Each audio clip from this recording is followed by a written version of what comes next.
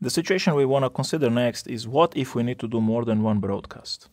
So let's say we have this situation, you know, we have some instructions renamed, there is a register file here, we have some reservation stations, but the situation is that somehow this divide here has finished in the multiply divide unit at the same cycle when the add here has finished in the add unit and now we, if we have only one of these broadcast buses that we can use to broadcast the result the question is which one of these two goes first. There are first of all several possibilities for how do you support this in hardware. For example you could have a separate broadcast bus for each of the units. So normally you have one of these buses. If you have a separate bus Note that there would be twice as many comparators. Basically, for each of the operands, for each of the instructions in the reservation stations, we need to try to match each of the tags that are being broadcast and be able to select the result or not, depending on whether it matches. So there would be twice as much matching hardware if we had two buses.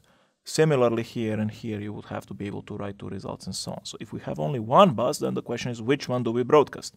And usually, you either just make one unit be the highest priority unit and the other ones are kind of less priority than that so that you always know. I mean you we, we need to choose very quickly which one is going to be broadcast. It doesn't matter so much which one it is as much as it matters that it's only one. So basically one of them needs to be picked.